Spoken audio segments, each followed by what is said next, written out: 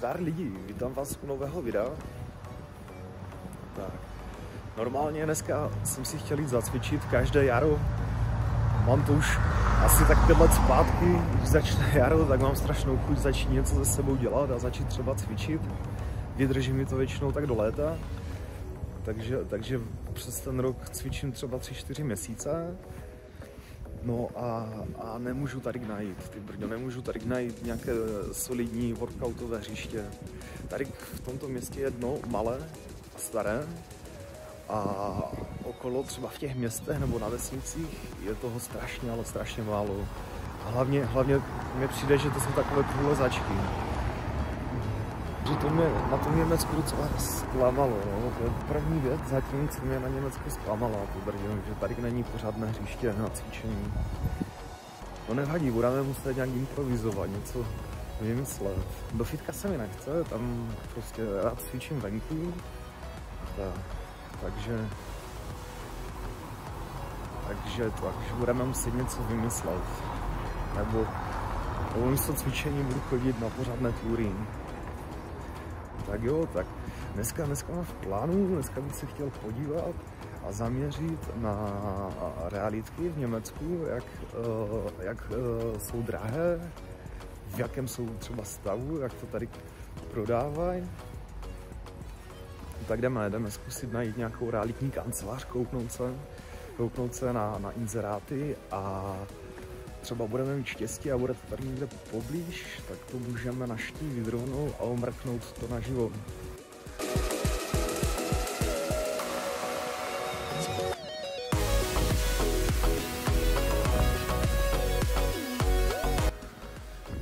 No lidí, normálně jsem zjistil, že tady tohle to město je zapsáno uh, na seznamu světových světových památek UNESCO. To je docela, to je docela pěkné. A taky jsem se dočetl vlastně, že, uh, že tady je strašně to oblíbené na, na vánoční trhy, advent. Jo, je to tu v Německu vlastně vyhlášené. No, tak to budeme muset ještě trošku víc proskoumat, tak tohle to centrum tohoto města.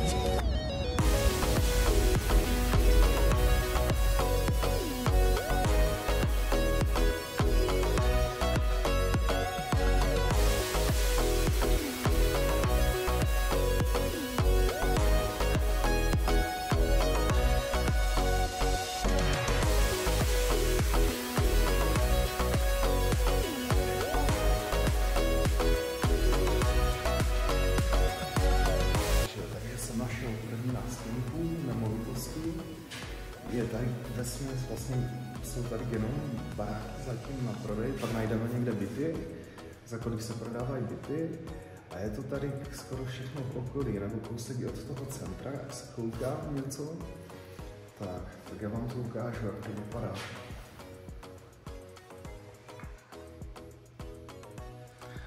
No, tady máme za 100 euro barák rodinný. Plocha, obytná plocha 104 metrů čtverečních, 4 pokoje a je tam docela velká zahrada, 1800 metrů čtverečních. Pak tady máme, co tady máme dál? Tady máme, tady máme za 35 tisíc euro, to je docela slušná cena. To 110 metrů čtverečních, 7 pokojů a 380 metrů zahrady jak to vypadá. To vypadá na nějakou chatku a to je docela drahé. Jak to, že je to tak drahé? Asi někde v centru. Tady máme za 90 tisíc euro 200 metrů, 200 metrů čtverečních, 4 pokoje, zahrada. Tady 90, 94 tisíc euro. Taky skoro 100 metrů, 4 pokoje. Tak, to vypadá na nějakou novou stavbu, tak to už je docela drahá, ale zase na to, že jsme v Německu, tak to není tak hrozná. Tady takový, takový starší baráček za 135 tisíc. Ale máme tady, máme tady 182 metrů čtverečních, 7 pokojů, 400 metrů pozemku a tohle to podle mě bude kousek od centra. No jo, tak tak jo lidi, já vyberu nějaký baráček a zajedeme se na něho podívat, jak to vypadá okolo baráků a, a jak je to lokalitě a kolik to stojí a můžeme to nějak tam zhodnotit společně.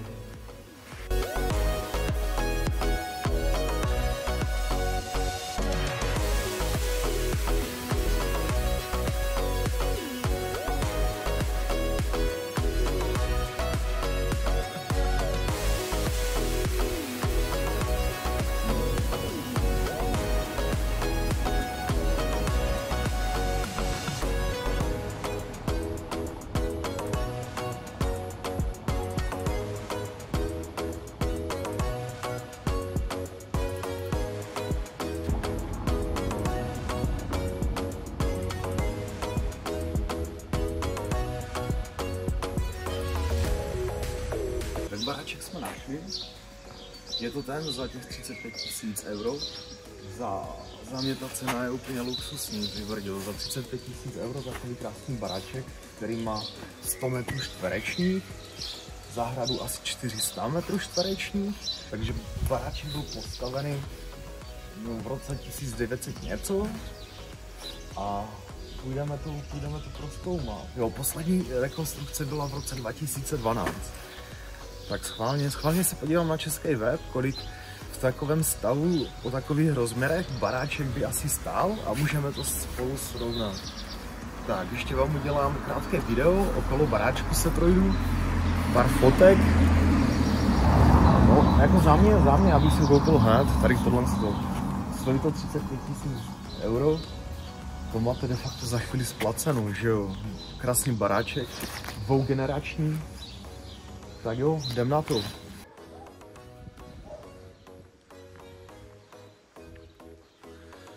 No a zezadu má ještě ty brďo solární panely, takže jako bonus jsou k tomu solární panely a tady vidím vlastně ještě jednu, jeden vjezd do garáže, tady je druhý vjezd do garáže, takže to jsou dvě garáže.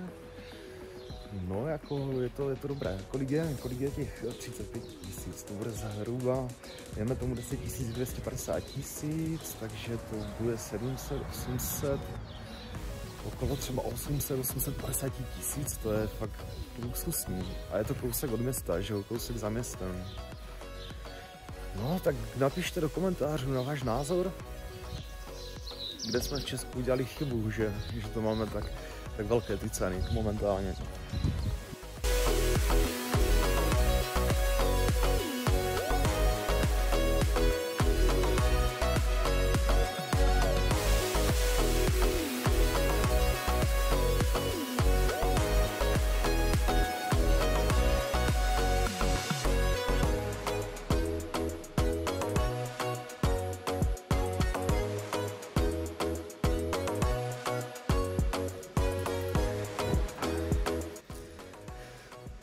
Takže lidi, ukázali jsme si, ukázali jsme si baráček, dalo by se říct, že ten baráček leží ve středu Německa, jo? je to v kantonu regionu Sasko-Anhaltsko, je to vlastně uprostřed mezi Berlínem a Hanoverem, možná trošku, trošku do takového trojuhelníku, jo? trošku na jihu, ale uprostřed těch dvou měst. A musím říct, že mě strašně překvapila ta cena. 30 tisíc euro v dnešní době je docela, jako docela luxusní, luxusní cena domů, protože je to nějakých 875 tisíc českých korun. No a ať jsem dělal, co jsem dělal, snažil jsem se na českých hráditkách uh, sehnat aspoň trošku podobný barák. Neměl jsem vůbec šanci ohledně té ceny, 850 875 tisíc jsem našel v Česku maximálně zahradky, chat někde v lese, tak to, tak bych vám chtěl teďka ukázat jaké ceny, jaké ceny jsou v Česku, jaké v Německu, jo? za jaké peníze se dá koupit v Německu a za jaké peníze se dá koupit v Česku. Tak jo, tak jdeme se na to podívat. Takže jako první uh, na srovnání toho německého baráku jsem našel tady v Čechách. Baráček, který, který, který mi připadal jako by prostě uh, stavem přirovnatelný k tomu německému, protože vlastně u toho auto německého tam ještě byl jeden velký bonus, tam měli normálně solární panely, ale hledal jsem to, ať je to tak stejně staré, a ty metry čtvereční, ať se to dá nějak tak, jakoby, eh, ať se to vyrovná, jo, ať je to stejné. Tam ten měl vlastně 100, ten má taky 100, akorát ten německý měl 400 metrů čtverečních zahrady a ten má jenom 275 metrů čtverečních, jo. Na tom vlastně německém paráku byla střecha, střecha byla si myslím docela v kvalitním stavu, vydržela by minimálně těch 10-15 let určitě a tady na tom baráčku to vypadá stejně.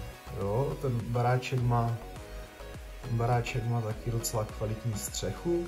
Plastové okna, u toho německého vlastně baráčku byly taky plastové z jedné části okna. Tak jo, tak koukněte na to, ukážu vám fotky, jak to vypadá. Tady je vlastně garáž, přes zahradu vjezd do garáže.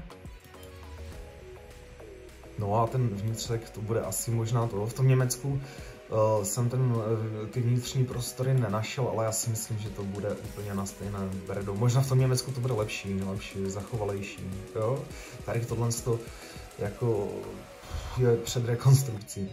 Jo, ten, ta vlastně venkovní část toho baráku je zachovala, fasáda vypadá, že je dobrá, střecha, střecha taky určitě 15 let minimálně, ale největší problém toho je, že vlastně stojí 2 miliony jo, v České republice. Je to barák, který stojí 2 miliony korun.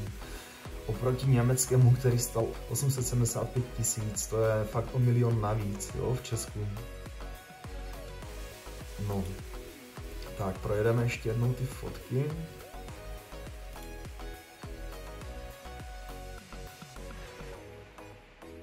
Jo, to je, to je kompletně před rekonstrukcí. No. Jak říkám, vnitřek, vnitřek rekonstruovat, vnějšek, vnějšek se dá nějakých pár let ještě jakoby to by vydržel. Tak jo, tak jo.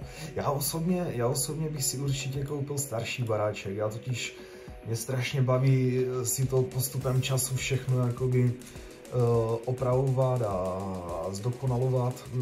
Nejsem typ člověka, který by chtěl všechno hned, nové, jo? já bych se pak strašně nudil, tak bych si nejraději pořídil taky něco takového, nějaký starší baráček a své pomoci, své pomoci, eh, pomoci eh, třeba z rodiny kolegů bych si to pomalinku nechával zpravovat a, a vymýšlet. Spravil bych si jednu místnost, pak druhou místnost, jo, pak něco třeba na zahradě a tak dále. Tak lidi, doufám, že se vám video líbilo. Jestli ano, tak mi prosím dejte like a odběr. A já se na vás budu těšit v příštím videu. Mějte si krásně.